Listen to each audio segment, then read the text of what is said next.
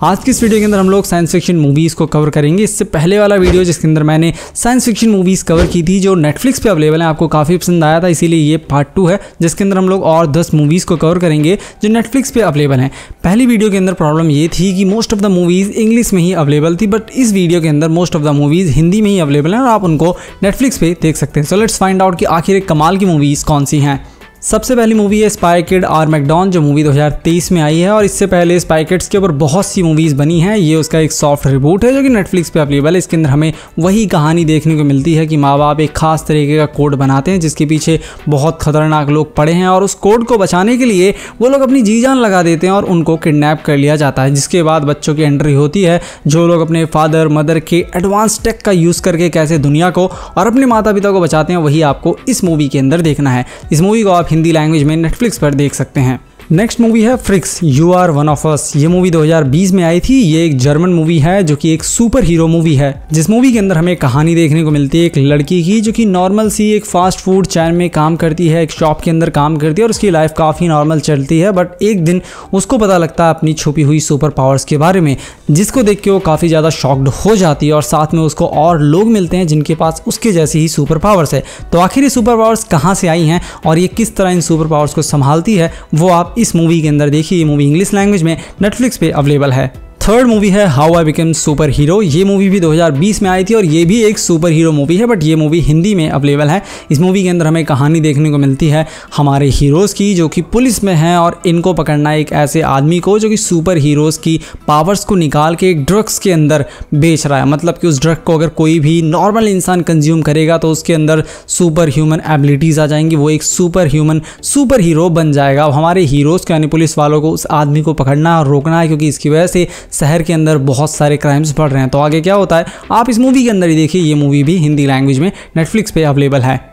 Next movie है the midnight sky ये movie 2020 में आई थी। इस मूवी के अंदर हमें कहानी देखने को मिलती है। एक एडवांस स्पेस मिशन की, जो कि कुछ सालों का मिशन होता है और इसको दूसरे प्लानट पे भेजा गया होता है। मतलब कि इंसान एक एडवांस स्पेसशिप के अंदर बैठ के दूसरे प्लानट के ऊपर गए होते हैं और ये लोग अब वहाँ से वापस आ रहे होते हैं। लेकिन एक इंसान जो कि पृथ्वी पर है और उसको पता है कि पृथ्वी पर जीवन ऑलमोस्ट खत्म हो गया। इसीलिए वो इन लोगों को रोकना चाहता है ताकि ये लोग पृथ्वी पर वापस ना आए। उस स्पेस के अंदर बैठ के वापस उसी प्लानट पर चले जाएँ और वहाँ पर एक नई सभ्यता बसाएँ अब ये इंसान किस तरह उनसे कांटेक्ट करता और क्या कारण जिसकी वजह से पृथ्वी से जीवन खत्म हो गया है, वो आप इस मूवी के अंदर देखिए। ये मूवी हिंदी लैंग्वेज में नेटफ्लिक्स पे अवेलेबल है। नेक्स्ट मूवी है बैटल लॉस एंजलिस ये मूवी 2011 में आई थी। इस मूवी के अंदर हमें कहानी देखने को मिलती है अर्थ की, जहाँ पे नॉर्मल डे सबका चल रहा होता है, लेकिन इतने में एलियंस बिन बताए हमला कर देते हैं पृथ्वी के ऊपर, जिसके बाद हर तरफ़ तबाही मच जाती है और एलियंस पूरी पृथ्वी पे कब्जा करना चाहते हैं। लेकिन हमारे हीरोज जो कि लॉस एंजलिस के अंदर यूएस मरीन हैं, वो लोग फंसे हुए हैं और उनको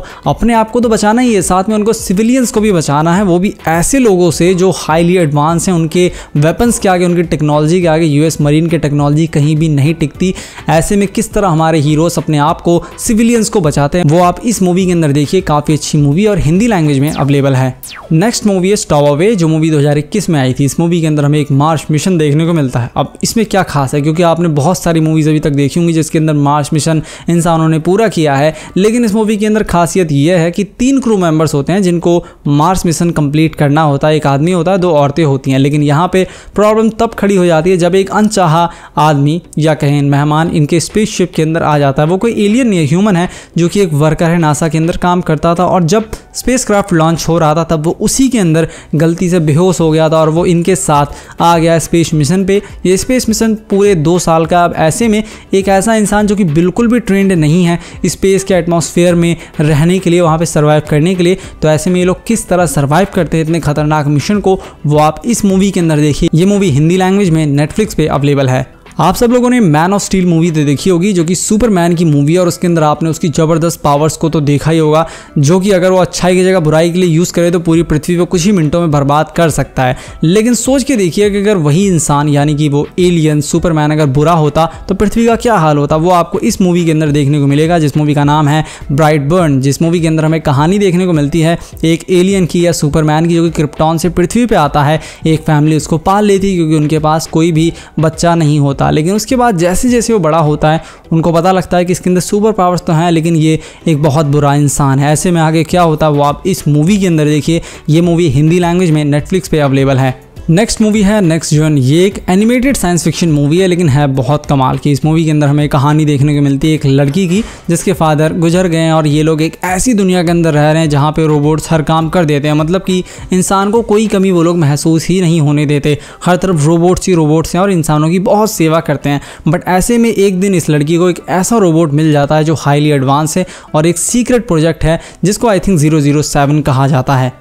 ये लड़की जब पहली बार उस रोबोट से मिलती है तो ये लोग एक दूसरे को इतना समझ नहीं पाते, लेकिन धीरे धीरे ये दोनों एक दूसरे के काफ़ी क्लोज आ जाते हैं। दोनों एक दूसरे को काफ़ी प्यार करने लगते हैं मतलब कि एक रोबोट एक ह्यूमन से बहुत ज़्यादा प्यार करने लगता है। लेकिन इस कंपनी का जो मालिक है, वो इस रोबोट को खत्म करना चाहता है। क्यों? वो आप इस मूवी के अंदर देखिए, और क्या वो इस रोबोट को खत्म कर पाता है या नहीं, वो भी आप इस मूवी के अंदर देखिए।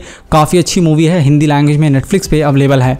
नेक्स्ट मूवी है लव एंड मॉन्स्टर ये मूवी 2020 में आई थी और इस मूवी के अंदर हमें एक कहानी देखने को मिलती है, एक मीटरॉइड की, जो कि पृथ्वी से कुछ ही समय में टकराने वाला है, जिसको रोकने के लिए इंसान बहुत सारी मिसाइल्स फायर कर देते हैं उसके ऊपर, जिसकी वजह से वो मीटरॉइड तो खत्म हो जाता है, लेकिन केमिकल रिएक्शन की वजह से, क्योंकि उस मीटरॉइड से बहुत सारे केमिकल्स निकलते हैं और फायर के कॉन्टैक्ट में वो आ गए हैं, जिसकी वजह से पृथ्वी पर जितने इंसेक्ट हैं मतलब कीड़े मकौड़े हैं, जो कि बहुत छोटे होते हैं, वो अचानक से बहुत ज़्यादा बड़े हो जाते हैं ह्यूमंगस हो जाते हैं, हाथी से भी ज़्यादा बड़े हो जाते हैं। ऐसे में इंसान पृथ्वी को तो बचा लेते हैं, लेकिन अपने आप को नहीं बचा पाते क्योंकि वो जो इंसेक्ट हैं अब इंसानों को खाना शुरू कर देते हैं। इंसान अंडरग्राउंड हो गए हैं, पृथ्वी के अंदर रहते हैं, वहाँ से बाहर निकलते ही नहीं है। ऐसे में एक लड़का जो कि अपनी गर्लफ्रेंड से मिलना चाहता है, पिछले सात साल से वो मिला नहीं है, वो डिसाइड करता है कि वो निकलेगा बंकर से बाहर। लेकिन ये लड़का इतना डरपोक है कि ये थोड़ी ही दूर नहीं जा सकता। ये उनका नाम सुन के, कीड़े मकोड़ों का नाम सुन के ये डर जाता है। ऐसे में ये किस तरह अपनी गर्लफ्रेंड को ढूंढता है? क्योंकि इसको ये भी नहीं पता कि इसकी गर्लफ्रेंड एक्चुअल में है कहाँ। वो आप इस मूवी के अंदर देखिए, ये मूवी अनफॉर्चुनेटली सिर्फ़ इंग्लिश लैंग्वेज में ही नेटफ्लिक्स पर अवेलेबल है। फ़र्स्ट मूवी है एक्स मकीना ये मूवी 2014 में आई थी। इस मूवी के अंदर हमें एक प्रोग्रामर की कहानी देखने को मिलती है जो कि एक बहुत बड़ी एआई डेवलपमेंट कंपनी के अंदर काम करता है।